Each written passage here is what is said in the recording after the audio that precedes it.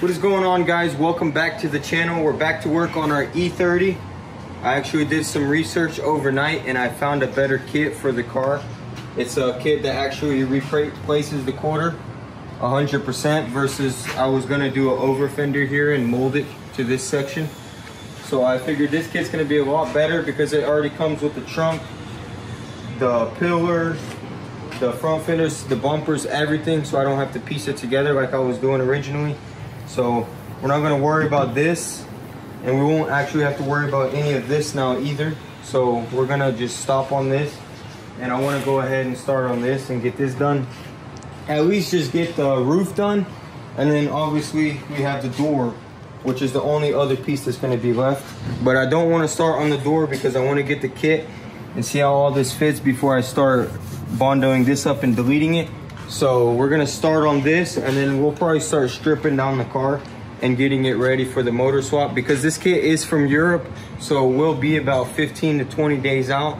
So we're gonna have to wait and then do other stuff in that time. So let's just start on this for now and then we'll go from there. All right, so I'm gonna start taking this handle off right here. That way I can get something behind there to start pushing it out from the back. Because you don't really want a dent there. You know, you want to get it out as smooth as possible. That way you're putting down a little bit of filler, especially right here. This is right on top. This is where the sun's going to beat down. So I don't want too much filler there. While I do that, Vlad is going to get the DA and he's going to run over this roof with a 180. So that way, once I get this Bondo smoothed out, we can prime the whole thing in.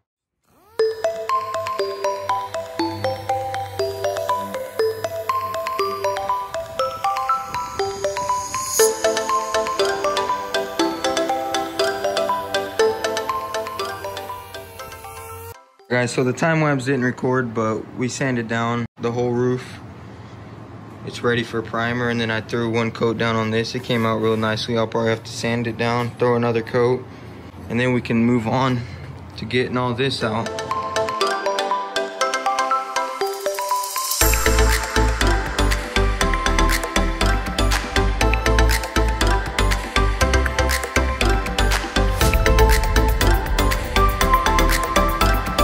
All right, so after applying the first coat of Bondo and sanding it, we're pretty much done here.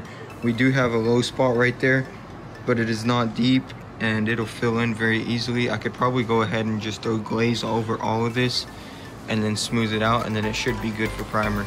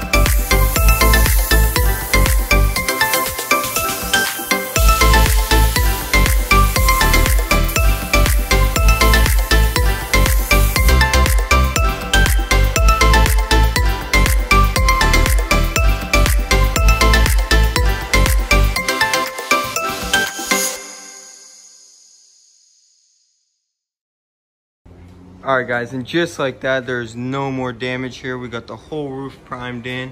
It's looking great. This thing is moving just along. Now I wanna start with the trunk. We're gonna strip down all of this stuff inside here, such as the liners, all this garbage and stuff, and then we can move forward and then start with the rear. Get these seats out, that rear panel, and then we'll see probably those two. So let's get to work on this trunk.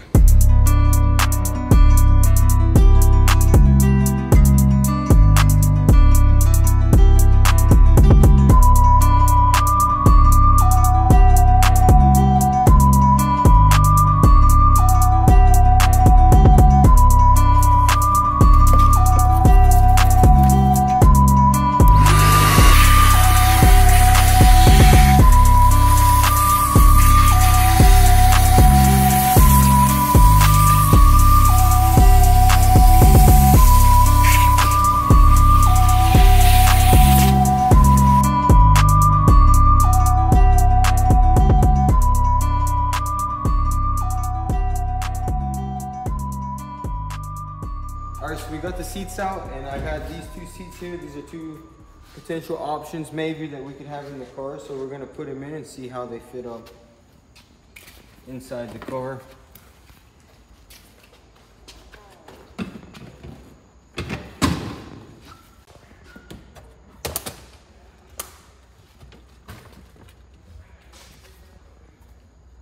All right, so these are a few sets of seats I had in the shop, so I just put them in to see how they look.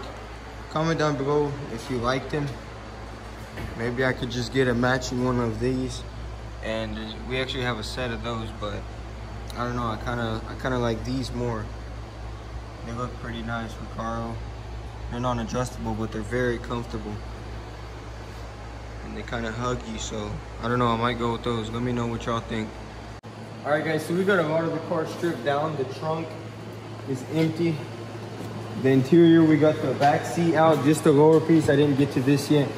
I got the front seats out. I even test fitted these. I'm really liking the idea of a custom seat.